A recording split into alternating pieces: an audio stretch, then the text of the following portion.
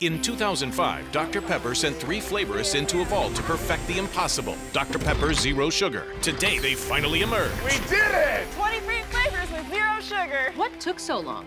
Huh? What took so long? We sacrificed complex years in process. the vault. I haven't find seen my family in 16 years.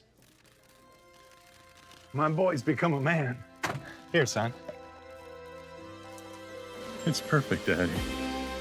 It was worth it. The zero you deserve is finally here.